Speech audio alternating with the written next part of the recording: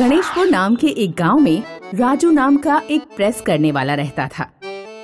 राजू के घर एक पपीते का पेड़ था।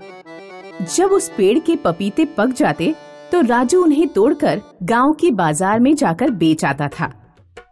राजू का बेटा कभी कभी पपीता खाने की जिद करता तो राजू उसे समझाता। बेटा, अगर हम सारे पपीते घर पर ही खा लेंगे तो बेचेंगे क्या? पपीते को छोड़ो और रोटी खा लो। एक दिन रंगा नाम का आदमी राजू के पास ढेर सारे कपड़े लेकर आया। रंगा पहलवानी कर चुका था।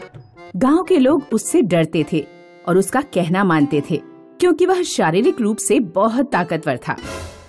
रंगा कपड़ों की गठरी राजू को देकर बोला राजू इन कपड़ों को बढ़िया करके धोना और प्रेस करना सौ से ज़्यादा कपड़े हैं। राजू इतने सारे कपड़े पाकर बहुत खुश हुआ। क्योंकि इन कपड़ों से उसे दो तीन हज़ार रुपए की कमाई होने वाली थी। राजू उसकी पत्नी और उसके बेटे ने खूब जमकर कपड़े धोए।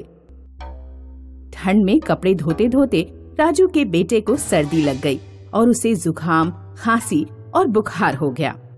मैं रंगा के कपड़े देकर पेमेंट लेकर आता हूँ फिर दवा लेने चलेंगे। राजू जब रंगा के पास पेमेंट लेने पहुँचा तो रंगा ने तेवर बदल लिए। ठाकुर जी पर मेरे पाँच हज़ार आ रहे हैं। उनसे मेरा पेमेंट मिल जाए तो तुम अपने रुपए ले जाना या सीधे जाकर उन्हीं से मांग लो। तुम्हारे पैसे किसी के पास अटके हुए हैं, इससे मुझे क्या मतलब? मुझे मेरा पेमेंट चाहिए। मतलब तुम्हें गाँव में किसी की परेशानी से कोई मतलब नहीं। जब मेरे पास ठाकुर जी से पैसे आएँगे, तभी तो मैं तुम्हारे पैसे दे पाऊँगा। इतनी सी बात तुम्हारे समझ में नहीं आती क्या? मोटे ताजे रंगा से पतला दुबला राजू कुछ नहीं कह पाया। वह बेचारा चुपचाप अपने घर लौट आया। पिताजी आपको पैसे नहीं मिले। क्या अब मेरा इलाज नहीं हो पाएगा? बेटा ईश्वर सबकी मदद करता है। मैं तुम्हें गर्म पानी में नींबू निचोड़कर पिला दूँगा। उससे भी बुखार उतर जाता है। पिताजी मेरा पपीता खाने का मन कर रहा है। एक पपीता तोड़ दो ना। राजू ने अपने बेटे के लिए पपीता तोड़ा। उसने जब पपीता काटा तो उसे अपनी आँखों पर विश्वास नहीं हुआ। पपीते के बीज सोने के थे।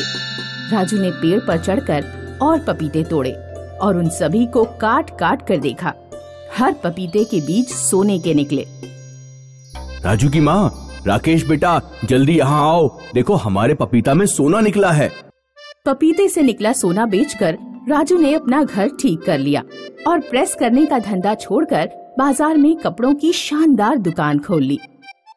जब रंगा को पता लगा कि राजू के पपीतों से सोना निकलता है तो वह गाँव वालों से जाकर बोला गाँव वालों पपीते का पेड़ भले ही राजू के घर में है लेकिन है तो वो गाँव की ज़मीन पर।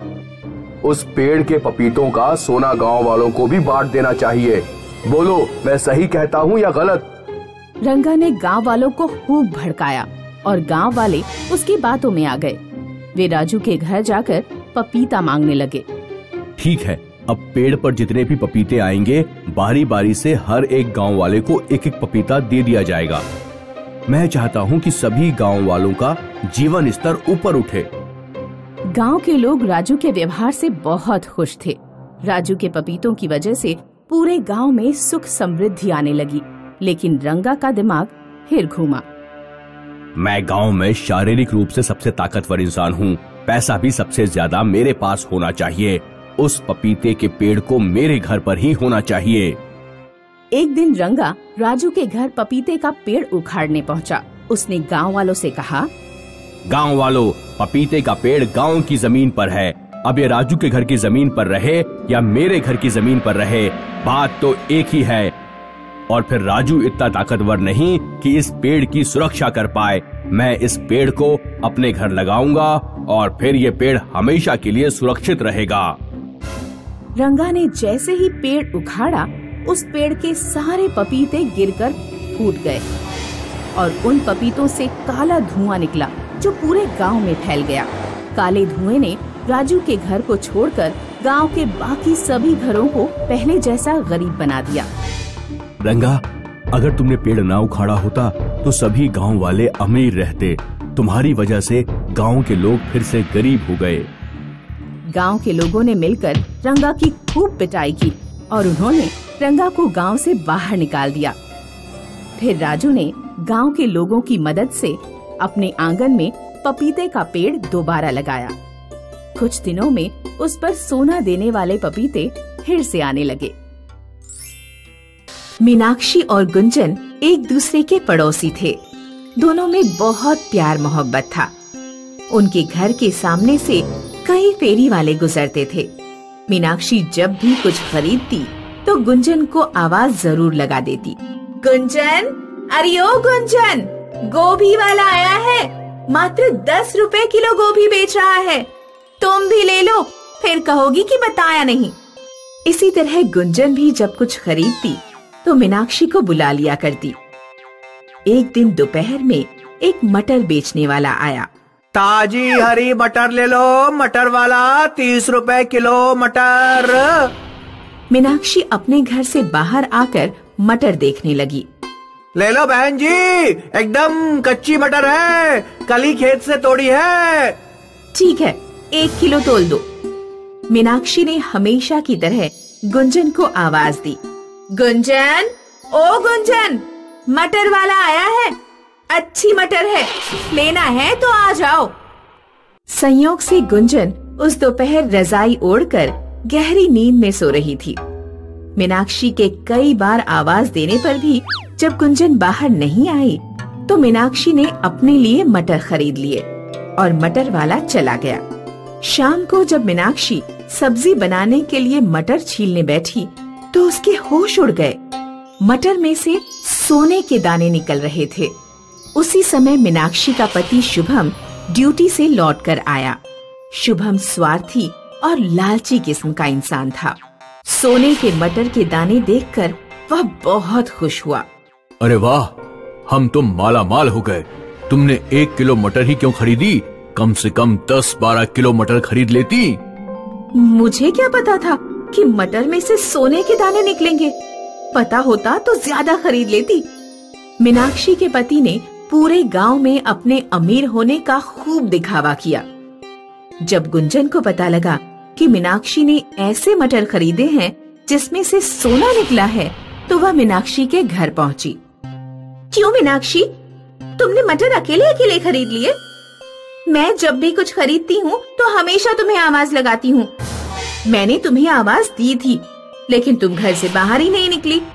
शायद तुम सो रही थी। अच्छा हाँ मैं परसों दोपहर थोड़ा सा सो गई थी। मुझे लगा कि तुमने जानबूझकर मुझे नहीं बुलाया। मुझे माफ़ करना कि वह मटर वाला कभी दोबारा आए तो मैं भी उससे मटर खरीदूँगी।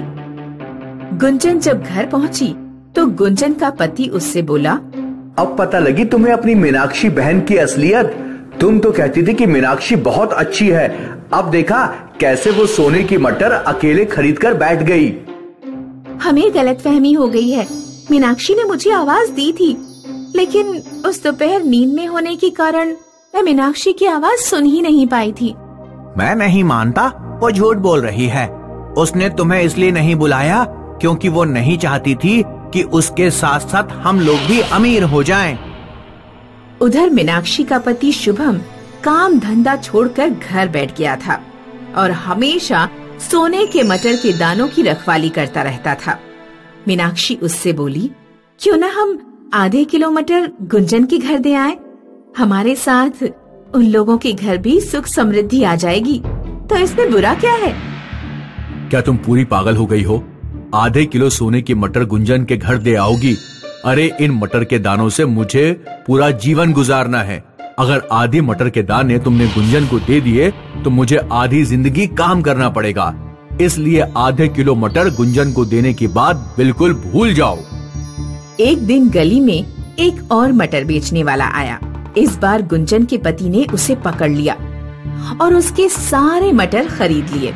मटर कम से कम पचास किलो थे। गुंजन और उसके पति ने मटर छीलने शुरू किए। लेकिन किसी भी मटर में सोने के दाने नहीं निकले। गुंजन के घर पचास किलो मटर का कोई काम तो था नहीं। इसलिए वह पड़े पड़े खराब होने शुरू हो गए। क्यों ना मैं कुछ किलो मटर मीनाक्षी को दे आऊँ? यहाँ तो ये खराब ही हो जाएगी। गुंजन ने एक बोरी में मटर भरी और कुछ मटर मीनाक्षी को दे आई। मीनाक्षी गुंजन के व्यवहार पर बहुत खुश हुई। उसने मन में ठान लिया कि वह किसी भी तरह आधे किलो सोने के मटर गुंजन को देकर रहेगी। मीनाक्षी बाज़ार जाकर हरे और गोल्डन कलर का पेंट खरीद लाई। उसने आधे किलो हरे मटर पर गोल्डन पेंट कर दिया। एक सुबह जब उसका पति टॉयलेट में था तो मीनाक्षी ने जल्दी से आधे किलो सोने के मटर के दाने उठाए और उसकी जगह अपने पेंट किए हरे मटर के दाने रख दिए। दोपहर में वह अपने पति से बोली, सुनिए जी, मैंने साधारण मटर की सब्ज़ी बनाई है। सब्ज़ी थोड़ी ज़्यादा बन गई है। कुछ सब्ज़ी मैं गुंजन के घर देकर आना चाहती हूँ। शुभम ने भगोने में देखा तो उसे हरे मटर दिखाई दिए, क्योंकि मीनाक्षी ने सोने के मटर पर हरा पेंट कर दिया था। इस तरह मीनाक्षी ने अपनी चतुराई से आधे किलो सोने के मटर गुंजन के घर पहुँचा दिए। गुंजन और मीनाक्षी में पहले जैसी गहरी दोस्ती हो गई। मीनाक्षी, एक बात बताओ, जब तुम्हारे पति को पता लगेगा कि आधे मटर के दाने सोने की नहीं, साधारण है तो तुम उनसे क्या कहोगी? कह दूँगी कि मुझे क्या पता? हो सकता है मटर वाले ने हरे मटर के दानों पर गोल्डन पेंट करके हमें उल्लू बना दिया हो। 哈哈哈哈哈